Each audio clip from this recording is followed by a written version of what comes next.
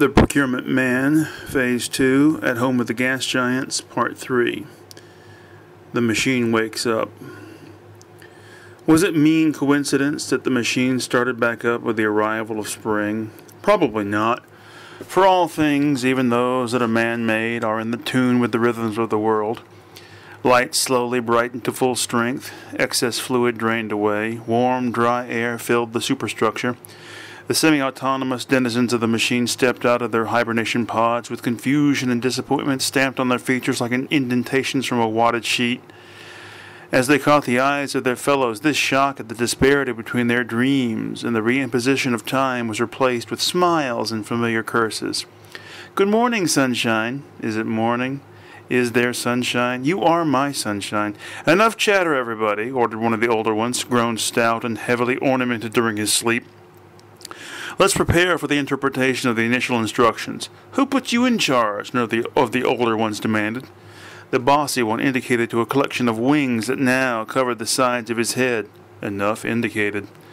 With surprising speed, given how creaky everyone felt, the machine's inhabitants, little machines themselves, took their places at the controls and monitoring equipment around the chamber. Once they had secured their persons, connected their nervous systems, and initiated the flow of narco- narconutrients, they had only to wait for the first order of the day. As the minutes piled up, more and more eyes strayed to the great tank filled with green, foamy water that dom- dominated the center of the room. Gurgling noises emanated from a half dozen portals, ringing its top, reassured the little men that all was working properly. They only had to wait. The old one, who had taken command, knew that the restlessness was building. Something must be done to keep the interest and energy levels high. He began climbing the service ladder behind the tank. Be careful, old one, one of the younger servitors called. Back to your places, the old one, resplendent in his long burgundy coat, barked. You'll have something to do soon enough. Once he was atop the tank, the old one reached into his coat and withdrew a piece of paper and a pen. Without taking too much time to think about it, he scratched out the words Another two markets lag behind Fish Family News. Then, unsteadily bracing himself with his feet, the old one began turning the handle holding shut a hatch on the sides of the tank. Watch him fall in, one of the others, neither young nor old really, whispered to a colleague. The latter nodded knowingly in return. Indeed, the old one did fall in, only moments later. Gasps exploded throughout the chamber. Old one! Someone shouted as the many little booted feet of the one in charge disappeared flailing through the open hatch. Everyone abandoned his post and crowded around the tank. Several struggled with each other to be the first to climb the ladder and attempt a rescue, until a cry from the observation and display window side brought them all around. Look! Finger-like projections on the ends of the of tentacles and noses, or nose-like things, were raised towards the window, where a floundering mass of burgundy and whiskers churned the green water to an even foamier state. An old bundle of digits flung up its burden, a matted mass of ink and pulp against the glass. What does it say? Looks like installation green spot and heteronymous flak, flak bash. How do you get all that out of that? Demanded someone, indicating the smoggy, the soggy smear sticking to the window, even as its author sank into oblivion at the bottom of the tank, to be processed down in the depths of the machine where five-headed four ruled. That legendary figure, only rarely seen in the upper levels, now clambered aloft to offer his interpretation of the directive. You idiots! Five headed four bellowed, as he was allowed to do, for he was beyond the strictures of seniority in politics. It clearly means prepare to generate narrative. All gaped in awe as the ancient creature returned to his station to consume the remains of his old colleague. A deceptive memoir. Jerry, I addressed my ma- imaginary friend, my book is just about finished. That's great, Jerry replied. His smile was genuine. However, since his eyes are but empty circles, I really have little more to judge his emotions by other than his mouth. No, uh, no eyebrows either, I wrote in the margins of my notebook. So now what, my friend asked. Are you going to try to get it published? I shook my head. I don't think so. There's no way that anyone will ever publish my work. I don't feel like going through the heartbreaking and ultimately fruitless effort of trying to get somebody at a publishing house to read it. It'd be like going through jury selection all over again. Well, what are you going to do? What's, was the, what was the point of writing it in the first place? Well, in the first place, have you ever heard of the theory of obscurity? Please, not the residence, Jerry begged. I'm just not in the mood. Okay, so you've heard of it, and by extension, you understand the concept of doing something just to please yourself. Masturbation. Jerry, I sighed. You're having sex, the other person leaves the room, but you continue. Is that masturbation?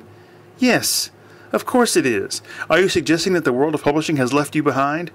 I've said it before. This is not the world I wanted to grow up in. But anyway, I am thinking of alternate means of distributing my work to the people who need to read it. Not the web.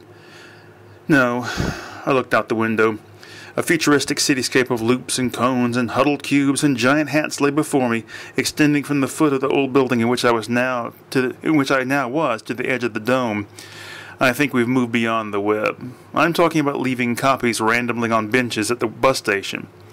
In this way, you hope to obtain the exact audience that your work deserves. I considered, well, I could always hang a tray around my neck and pass out copies as I walk down the sidewalk. No, no, don't do that. In this capitalist society, if you give your work away, it has no value. It has value to me. That's true of anything. No, I'm talking about value to others. You must make the attempt to sell your book. Yes, but to whom? Jerry joined me at the window. To someone who appreciates the snobbery of the word whom. My favorite fruit. What's that? The snobberry. Jerry apparently didn't find this particularly funny, for he didn't laugh. He recrossed the big room and threw himself down in the padded leather chair near the oversized globe.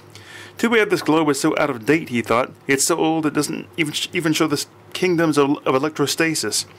He turned his gaze to the painted ceiling overhead. It showed an immense Todescabode reaching out of a window in the sky to swat at hordes of invading, invading alien spacecraft. Indulgent, self-aggrandizing nonsense, he thought.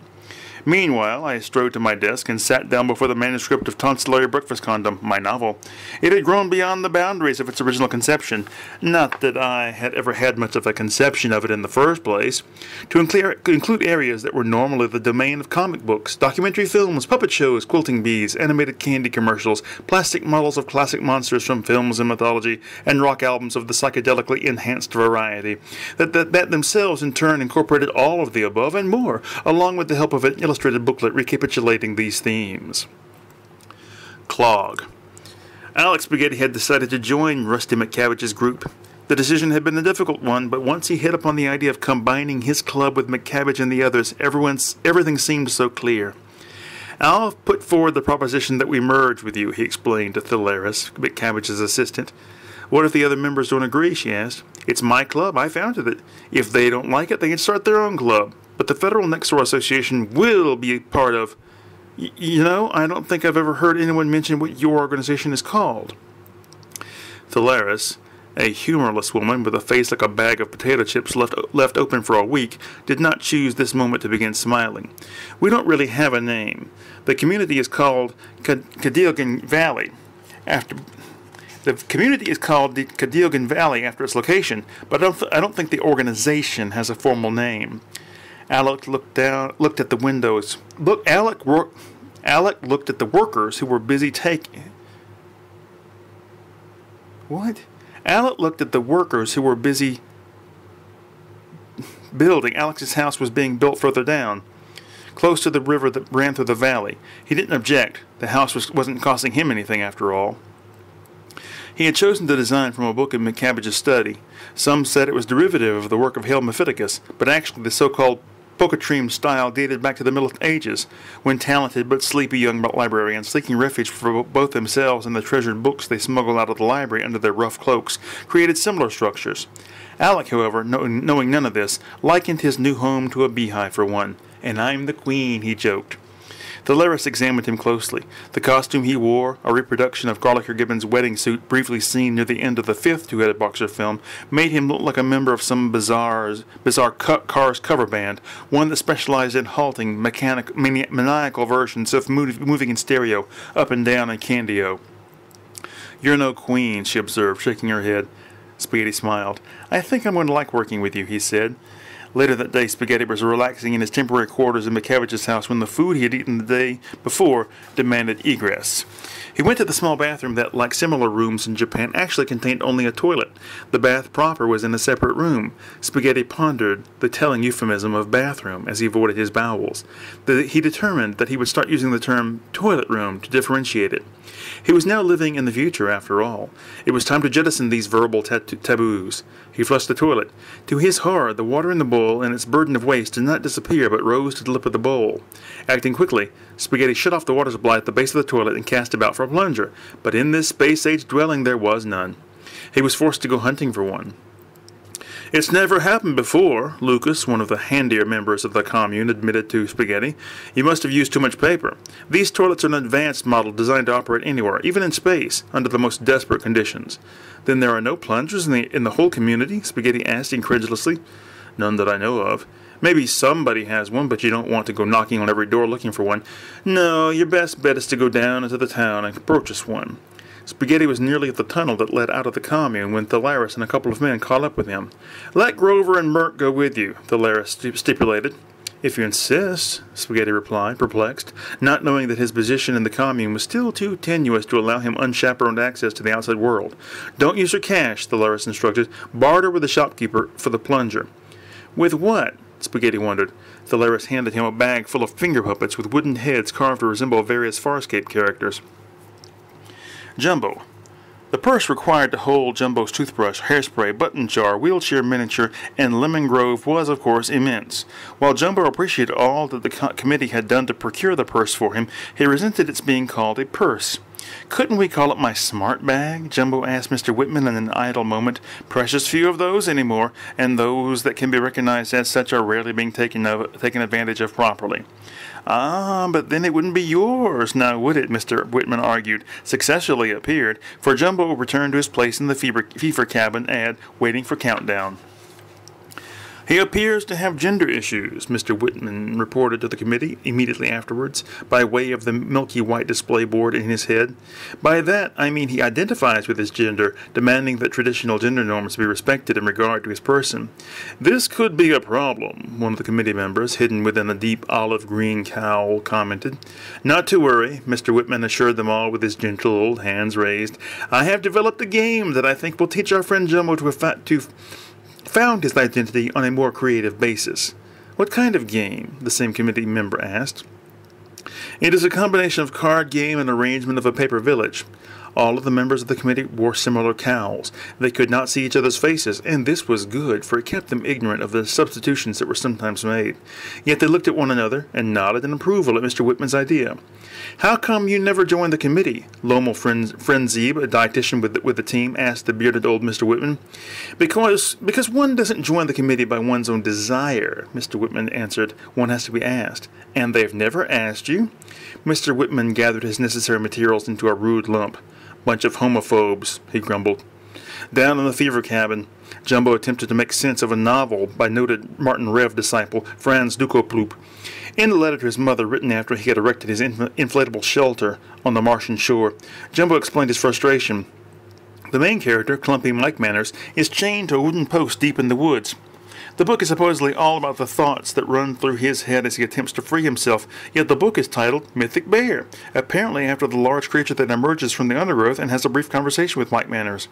I wasn't able to complete the book before Countdown, but I suspect that the band he fronts, Refreshing Hen's Teeth, sets fire to the woods just to get the whole thing over with. Perhaps my confusion is due to my usually reading technical manuals and murder mysteries set in the chaotic world of live television broadcasting.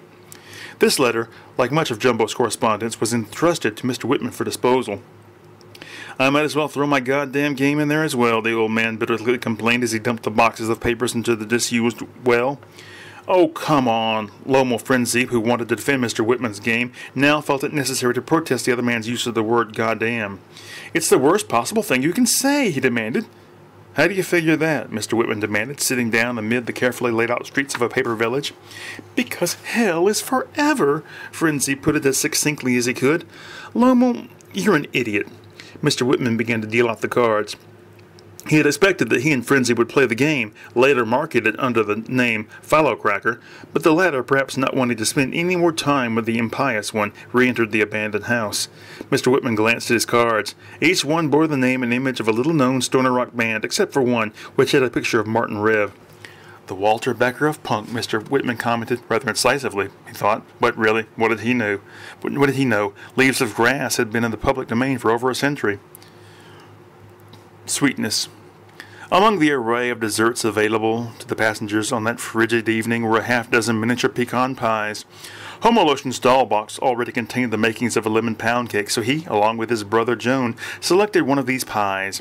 As they pushed them around their plates, pretending they were alien spacecraft grounded due to unforeseen humidity in the Earth's atmosphere, now relying on their corn syrup-based propulsion systems, the captain, a large-chested man with a tiny waxen head stood up to address those now enjoying the end of the feast. feast.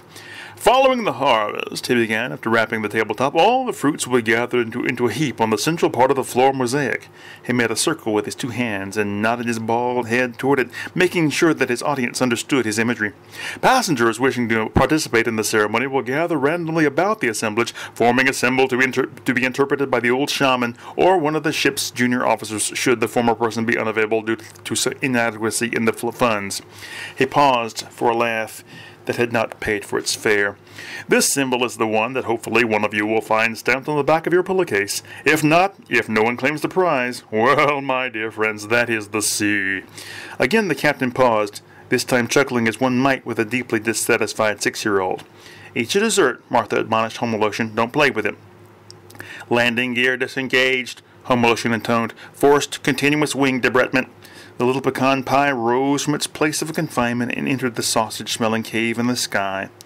Some people say it contains coyote breath, Joan told a, report, a, reporter from Metal Homestead magazine. Can we get a picture of you holding your brother's guitar? The reporter asked, glancing at his photographer for confirmation that this was a feasible suggestion. The photographer, distracted momentarily by the thought that he was actually on a ship, but latterly agreed to the shot and distributed his equipment accordingly. He could feel the ship tilt slightly as it crested a particularly sticky wave. Up on the cuneiform deck, Homolotion and the captain discussed the similarities between commanding a large passenger ship and being in a rock band. It's all I've ever wanted to do, Homolotion confessed. All? The captain wondered, a sage simper on his big face. The waxiness, a product of his ritual consumption of tallow, reflected the slightly swaying chandelier. I must tell you, being a ship's captain isn't all I ever wanted to do, not just in the sense of right now, but in my youth, my aspirations, my goals. For one thing, I wanted to be a land surveyor. Too bad you can't be a water surveyor. Homolotion joked as he plotted how to get away from this literal-minded bore. No sense of fantasy. Of play, Joe answered the reporter down in his cabin. Talking about me, Martha entered and asked. Where's Homolotion? Joan demanded. He'll be here. I think he's still with the captain. I'd love to get a shot of you two together, the photographer interjected hopefully, wanting, wanting to help out. Yeah, we've got to have that, reporter added. He looked at Martha. Any chance you'd like to sit in on the interview? he asked. I don't have anything to say. Joan and Homolotion speak for them for, speak for the brothers. Martha responded, not looking at, at his interlocutor, but heading for the drinks rack. Oh, come on, Joan begged. Just fill in for, until Homolotion gets here. This is really good port, Martha announced after downing a third of, the, her, of his glass. the reporter winced inwardly. How could he drink that sweet crap? Some minutes later, having obtained the necessary passes reluctantly granted, Homolotion burst into the cabin, full of enthusiasm and displaying the restless thirst that characterized his music. He nodded in agreement at Martha's uplifted, bottle-laden hand. The rebellion and the revolution are not synonymous. After Macrospore had established itself as a legitimate ruler of the paperlands through the electoral process, this fact was trumpeted across the airwaves by the newly independent media. The only problem, as far as the Council of Fund Governance, located in the Macrospore's left ear, was concerned, was that all of the commentators kept referring to the aforesaid process as the electoral process. It's electoral! Lomo Frenzy, now promoted to mushrat hat wearer, tried to explain to a group of reporters. They snickered and jeered, perhaps goaded by the high spirits their newly independent status had engendered. We have an election. Those who participate are electors. Why shouldn't the process thus described be the electoral one? Frenzy demanded. The reporters looked at one another. The people pronounce it as electoral, one of them pointed out. The people are wrong, Frenzy retorted. And not for the first time, muttered Manfred Dancer, watching this exchange at home. He and his dancer he and his dancer development party had been the big losers in the recent election, gaining but one seat in the assembly, and that for a constituency far to the south, where no one was definite on definite on whether the locals understood what was going on. Let it rest, Androgina urged as she cro- crocheted a warm coverlet for the TV. Well, I hate to say it, Dancer grumbled, but he's right. I mean, we have pastoral, not pastoral, and clitoral, not, not clitoral. Androgina's crochet needles made a sound like the clash of swords between Errol Flynn and Basil Rathbone. Please, she cried, I'm trying to put all that past me. Dancer rolled his eyes to the other side of the room. In the macrospore's right ear, the masked agents of the Policy Enforcement Force met to discuss the situation. Before we continue, the lead agent, whose glasses were visible through his masked eye holes, addressed his colleagues. We need, to, we need to ascertain whether the, what the reporter said is true or not. Do the people really say electoral? I've got some data on that, Ron Camaro, another agent answered. He stood up and re- read from a sheaf of papers in his hands. Our research and analysis division, analogous to the American CIA, has looked into this very matter. It seems that 78% of the populace, a clear majority, pronounce the word electoral. However, we feel that they only do so do this because the media says it that way. And they in turn say it that way because say it that way because they feel it will go down well with the folks, the late agent, whose name was Bonko, theorized. Well, yes, Camaro agreed. Another agent, this one in a crude Elvis Costello, or was it Buddy Holly costume, asked a question. What about the other 22%? Camaro rummaged through his papers until he found what he was looking for. Um, it says here that they are even, are split evenly between those who say the word properly and those who have never heard of it. Never heard of it? Camaro expostulated. Calm down, my friend, Bonko said soothingly. Those are just the ones who will be targeted come Pooh Day. Pooh Day? One of the junior agents whispered to a fellow. Purification Day, the latter explained. The macrospore itself longed to be to end the bias against the use of the word was in a conditional sentence. It makes no sense, it complained to a contemporary. I was going to the store, he quoted. Why should was change to were just because one puts an if in front of that phrase? But the macrospore slowed down one thing at a time. First, we'll deal with this pronunciation problem, then tackle usage the other being a mountain of gray slime topped with a massive red ever bobbing ear, replied in its native tongue that it did not understand the macrospore. Hablo sablum transcornables. The macrospore smiled and made a note in his agenda. Cloth macho. As James sniffed the fingers he had rubbed against the skin around his scrotum, enjoying what can only be described as a pri- enjoying in what can only be described as a primal correlation the cheese-like aroma thus transferred, he had no idea that he was being filmed, and not just filmed added Mortost, an expert in these matters, but mentally scanned, so that his emotions, his pleasure readings, were recorded. In this way, he could not later dissimulate or deny the truth of his reactions and motivations when confronted with the evidence. Mortos grinned with sadistic satisfaction and rubbed his thumbs and, and rubbed his thumbs and fingertips together as if feeling the quality of a piece of silk. There were those in the room who found the whole thing distasteful, from James's actions to the authorities' plans to publicly humiliate him. Mortos, however, they seemed to incline they seemed inclined to like, as he was portrayed by the actor George Clooney. Although nominally a leading man, Clooney had agreed to play the repulsive character in exchange for the donation of a lot of surplus military playground equipment to the island of Haiti. The island of Haiti and its people I've always been close to my heart, the actor boasted, pulling his messianic beard through his tan, athletic, athletic fingers. Look at those fingers, Grandma urged everyone. They are so like those of Jimmy Stewart. Yeah, but Jimmy Stewart could, could never handle a football the way George Clooney can, little Francesca pointed out. I wonder what his fingers smelled like. It was Grandpa who said this. Whose? Clooney's or Stewart's? Well, Stewart's, of course. Otherwise, I wouldn't have used the past tense. You've got to learn to think a long term, Grandpa, Francesca lectured. By the time the report is published, George Clooney will be long dead. It's too late for me to think long term, little one, Grandpa retorted. By the time we get to the end of the page, I may be dead. And so he was, dead as a pope, laid out in virtuous ermine and tucked into a box. My consolation is in knowing that he doesn't know he's dead, Grandma sniffled as she, as she dried her tears. Who? Grandpa or Jimmy Stewart? Francesca wondered. Or George Clooney, Cousin Bradley added. Unc Bradley, Uncle Romeo, Uncle Romeo interjected. Exactly what is it you have against George Clooney? I don't have anything against Tim Bradley insisted. He's a decent movie star whose looks are a throwback to the days of Cary Grant, Cary Grant and Clark Gable. Whew. Uncle Romeo sounded relieved. But on the other hand, that's just it. Without his looks and that manly, take charge voice of his, what is he? Just somebody who gets millions of dollars to pretend to be someone we're supposed to want to emulate. So, you're jealous. You're damn right I am. Bradley pounded on, on the coffin, and then he throws his celebrity in our faces by espousing one cause after another, when, as Allen Ginsberg told us, the only way to improve the world is to improve oneself. As the supervisor of the death ritual entered the room, his, this lively family discussion ceased. Everyone took, took a seat and turned his eyes to the lectern, whereupon the ancient book was ready for consultation.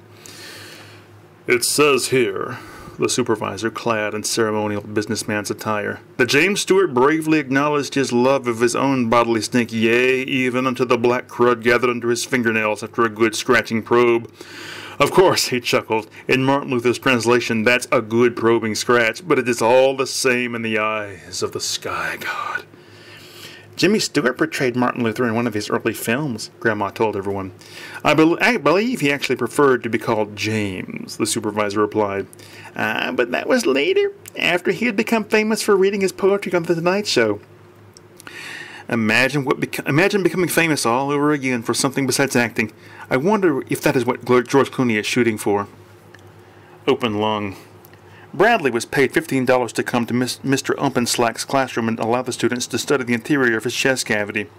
The reason Mr. Antizest, Bradley's family name, is able to do this, explained Umpenslack to his charges, is that he was wounded during the conflict in South Meridian. Isn't that right, Mr. Antizest? Yes, nodded Bradley slowly but emphatically. I was blown apart by what we call an improvised explosive device. In this case, it was a coffee can full of gasoline ignited by a sundial. The students crowded around as Bradley unbuttoned his the students crowded around as Bradley unbuttoned his shirt. He sat on the overturned vending machine at the front of the room. The doctors put me back, me back together and installed this clever door in the front of my of my chest. I have another one around back for the elimination of waste. The hinges are made of cartilage covered with calluses. I have to buff them every day with a leather strap, or the calluses will get soft and the hinges will work themselves loose. Can you go swimming? One of the boys in the class asked. Laughter followed, but Bradley took the question seriously. Sure, but I have to coat the hinges with chicken grease first. He laid his neatly folded shirt beside him and opened the door to his chest with a little, key. The class gasped as the assembly of vital organs was revealed. Now, class, what is this? Mr. Umpenslack asked, pointing to a throbbing purple mass at the bottom of the cavity. The heart? Someone guessed. No. Mr. Umpenslack shook his head. But it's beating, the student argued. True, but what else beats? The, the stomach? No. Think. Beats like a, a drum? What kind of drum? Mr. Umpenslack insisted. An eardrum? Down in the abdomen? Come on, scholars, we've gone over this. Remember when we dissected the yak? Cattle drum, a voice called out. Mr. Umpenslack shook his head. He was about to tell, but another, another voice called out, Tom Tom, and the answer was now obvious to all. Mr. Umpenslack, a girl spoke, pointing to a corrugated red organ higher up. What's that? Well, as Mr. Antizest has told you, a team of army doctors reassembled him, and in doing so, they were forced to take whatever measures they could to save his life. Now, ordinarily, the lungs would be two or three large bean-shaped organs shot through with streaks of pastel blues and reds and lined with a fine coating of sand or soot. But in this case, Mr. Antizest is a modern pump lung made of enameled pig iron. And that's not all, Bradley announced. He reached into his open chest. There's a latch on one side that enables me to open up the lung itself. Careful now, Mr. Umpenslack cautioned. Don't worry, I can hold my breath for a good long while. Bradley, Bradley assured him. He flipped the latch on the side of the lung. The front swung away, revealing, revealing a small chamber in which a demonic creature, covered with blue-black fur, sat on a stool holding a plastic straw and a balloon. The class gasped in amazement. Your tax dollars, at work, Mr. Umpenslack joked. It's no joke, the little creature yapped. He stood up from his seat and jumped down into Bradley's lap. I'm just another item on somebody's procurement manifest, but, he cried, clapping his hands together after first flinging away the straw and balloon, no more! I'm running away to Toronto! Stop him! Mr. Umpenslack ordered, but the, but the teacher was too late. The demon had already dashed out of the room. The students were in a panic, running about, overturning chairs and ripping inform- informative posters from the walls. Bradley, meanwhile, calmly closed up his lung, then his chest, and waited to asphyxiate.